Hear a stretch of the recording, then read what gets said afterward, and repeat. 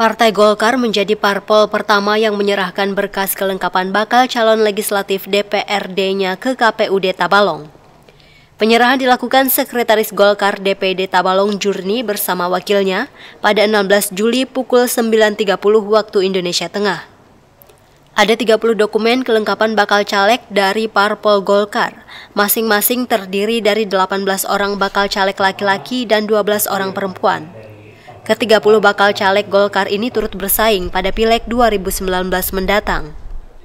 Sekretaris DPD Partai Golkar Tabalong Jurni mengatakan bakal caleg tersebut telah melalui masa orientasi di tingkat provinsi dan Jurni menargetkan dapat meraih 7 kursi DPRD pada Pileg 2019 mendatang.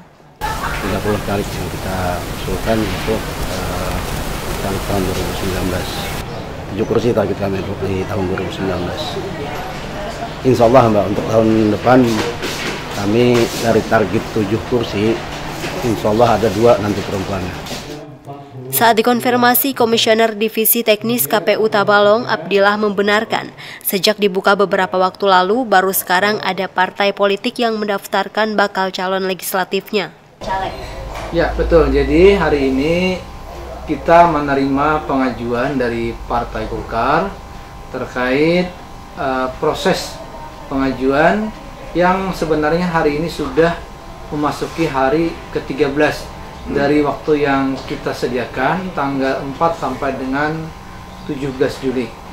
Jadi Golkar merupakan parpol yang pertama kali menyampaikan pengajuan untuk daftar caleg pemilu 2019. Abdillah menambahkan dokumen yang diserahkan harus melalui proses verifikasi terlebih dahulu.